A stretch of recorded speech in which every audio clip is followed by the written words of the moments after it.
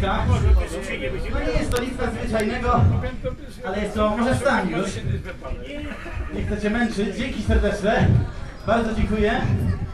Nie jest to jakiś nadzwyczajny sprzęt, ale jak widzicie trochę się różni. Ale te różnice są celowe.